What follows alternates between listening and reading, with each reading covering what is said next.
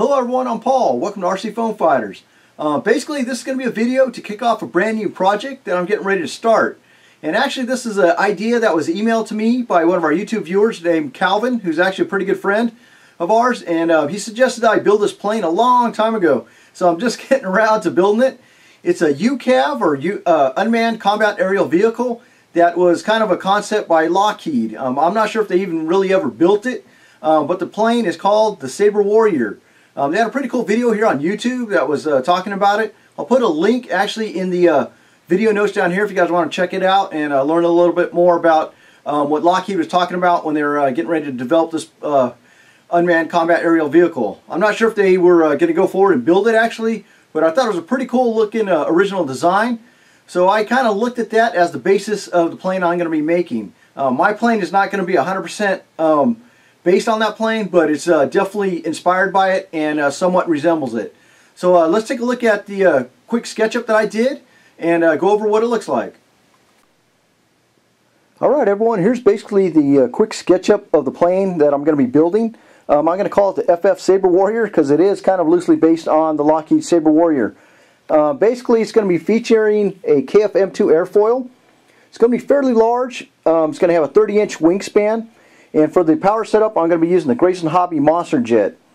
Um, the real um, design that Lockheed was developing, I guess, could be a manned um, aircraft also. They were going to have options to have it uh, with the actual pilot or um, as an unmanned aerial vehicle.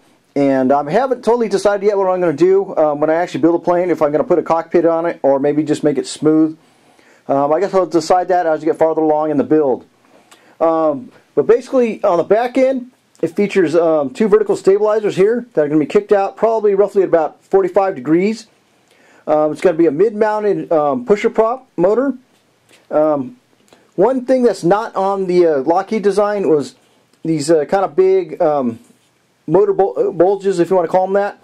Uh, basically, I do that on a lot of the planes that I'm developing now because it helps make the rear end of the plane a lot more rigid and it kind of gives it a cool look, so I just decided to put it on this plane too. Um, it's going to have a single um, elevator here in the center. So it's going to be basically three servos. I'm going to have one for the elevator. And I'm going to have two ailerons. Um, basically, it's going to be a, pretty much a bank and yank type plane. Um, I guess if you guys wanted to modify it, you probably could add on some uh, control surfaces on the two vertical stabilizers and uh, make it a V-tail setup. Uh, but for the setup I'm going to be doing, it's going to be similar to my FF22 and FF23 with the two ailerons and the elevator in the back. Um, basically, at least for the original setup. So um, that's kind of the original concept that I'm going to be working on. So um, let's take a look at what I've got after this. Alright everyone, basically we're going to jump pretty far forward. I actually have the first concept plane actually built out of foam board here. This is a full-size concept. Um, it's the 30-inch wingspan. Um, as you can see, here's kind of the uh, lines and the look it's going to have. So um, I think it looks pretty cool. Hopefully it'll uh, prove to be a good flyer. Um, we're at the point I'm getting ready to paint the plane.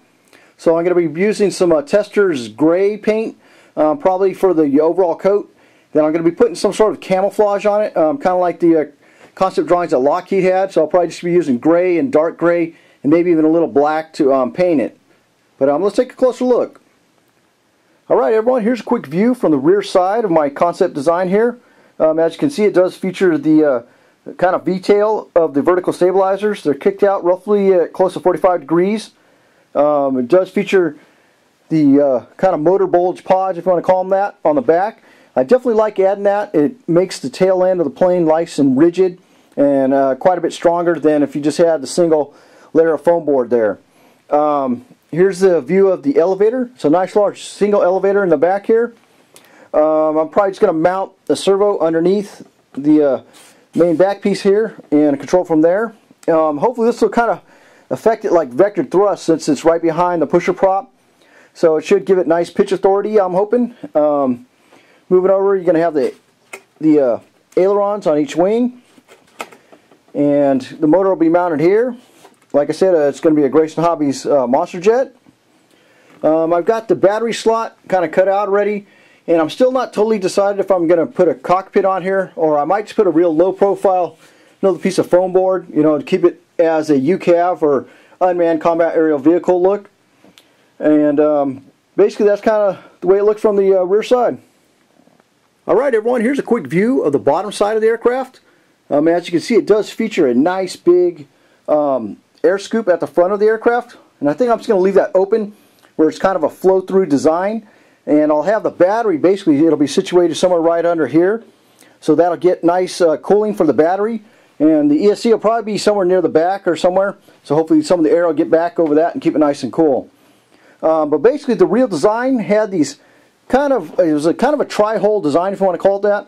It had the motor, it had a single motor down the center, and it had um, kind of two pods on the side of the aircraft, and that's where you would house all the uh, bombs or missiles or whatever munitions the uh, UCAV would carry.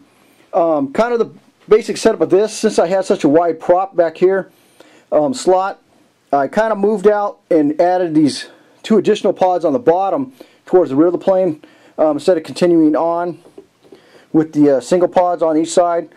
Um, basically also because the foam wasn't long enough. So I think that'll keep it nice and rigid also and give it kind of a nice look from the side. Alright guys, well that's pretty much the uh, FF Sabre Warrior. I think I'm going to move on to get in into um, painting the plane first. Then I'll actually add on the electronics. And what I think I'm going to do, I'm going to make a smaller mock-up to do my glide test, And I'll film that and add it into uh, the next part of the video that I'm going to make. Alright everyone, that'll pretty much finish up part one of the FF Sabre Warrior. Please stay tuned. I'm going to continue on building this plane and hopefully get it out for some maiden flights uh, fairly soon. So uh, thanks again for your support and uh, stay tuned. A lot of more exciting stuff from RC Foam Fighters coming up.